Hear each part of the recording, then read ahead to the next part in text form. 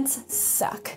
Not as in they're the worst, they're just constantly sucking up water from the soil. Water enters plants through their roots, travels upward through pipe-like vascular cells called xylem, and exits the leaves through tiny pores called stomata in a process known as transpiration.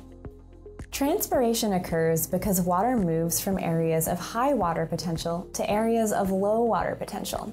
High water potential refers to areas with high moisture, like in the soil, and is typically denoted by positive units of pressure. Low water potential refers to areas with low moisture, like in the air, typically denoted by negative units of pressure. Transpiration also happens because water molecules stick to each other and to the walls of the xylem through hydrogen bonding. That means that they form a continuous column of water in the vascular cells from the roots to the canopy. And this column is constantly being drawn upward due to the low water potential in the air outside the stomata. Transpiration is essential for providing plant cells with water and nutrients. If the soil dries up during a drought, the water that's lost through transpiration can exceed the amount of water that's available in the ground. This causes plants to wilt and eventually die if the drought is severe enough. So, scientists are really interested in studying transpiration because of its role in plant health and how plants respond to drought and climate change. Today, we'll observe and measure how much plants suck in the lab by using an apparatus called a potometer, which we will build ourselves. Then we'll discuss how you can design your own experiments to test environmental variables that might affect the rate of transpiration. We'll need the following supplies and lab equipment. Plastic tubing, a ring stand with two clamps, a basin filled with water, a 2 ml pipette, a syringe without a needle or a pasteur pipette, parafilm or petroleum jelly, a razor blade or sharp scissors, a permanent marker, a plant. Today I'm using my Anthurium houseplant, but anything with large leaves is great, and graph paper, a pencil, and a hard surface to write on. First, we need to build our potometer, which will allow us to measure transpiration in a leaf. The goal is to create an airtight system with no air bubbles, because air bubbles can disrupt the movement of water through the plant. I'll submerge my plastic tubing and pipette in the basin so they completely fill up with water. You can also use this pipette to pull water all the way through the tubing without submerging it, whatever you prefer. If I see bubbles, I'll get rid of them by using a syringe to pull the water all the way through the tube, or squeeze it a little bit until the bubble pops out. Next, I'll insert the blunt end of the pipette into the plastic tubing, keeping them underwater as I do, and wrap the point at which they connect with parafilm to create a tight seal. Petroleum jelly makes a good seal too if you don't have parafilm. Now it's time to add the leaf. I'll remove one from the plant, quickly place it in the basin, and then make a fresh clean cut of the leaf stalk with a razor blade to prevent air bubbles from getting into the xylem. After placing the stalk in the opposite end of the plastic tubing from the pipette, I'll seal the connection with parafilm as well. I can now lift the whole apparatus up out of the water so the tubing forms a U shape, with the leaf and the pipette sticking up at either side. I'll secure both sides of the U to the ring stand with clamps, and now we have a potometer! Let's perform a couple quick checks to make sure everything is set up correctly.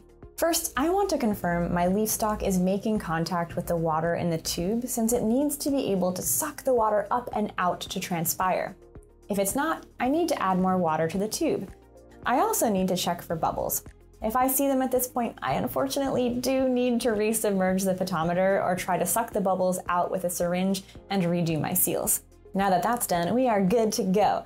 We'll be calculating the transpiration rate per square millimeter of leaf surface area. So next we have to estimate the surface area of our leaf. I'll use my pencil to gently trace the outline of my leaf onto graph paper, being careful not to disturb the seal. It's helpful to have the graph paper on a clipboard or notebook to stabilize it. First, I'll count the number of full graph paper boxes in my leaf outline, marking them as I go to keep track.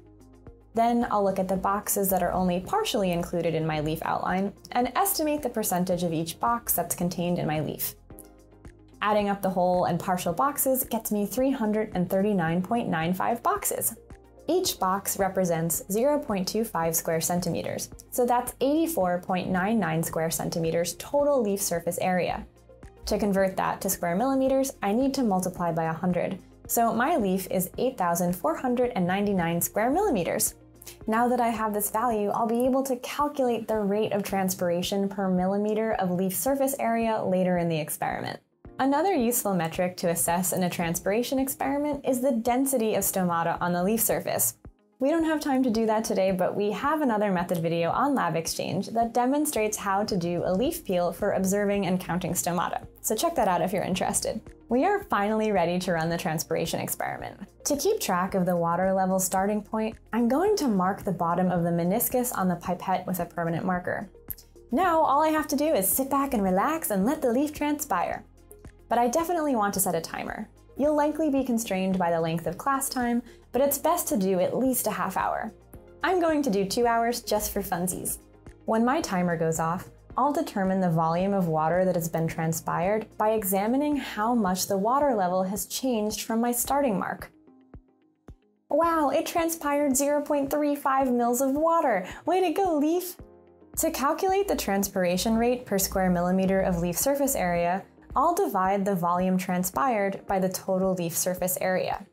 Looks like this leaf is transpiring at a rate of 4.12 times 10 to the negative fifth mils per square millimeter. The setup I just showed you only looked at transpiration rate in one type of leaf in one environmental condition. Now that you're experts on how to construct a potometer, it's up to you to design an experiment that will test variables that might affect transpiration rate. The data from this type of setup can serve as your control, and then you can decide if you'd like to look at biological variation like stomatal density between different species, or environmental variation like temperature or light intensity. Here's a little tip from one potometer pro to another.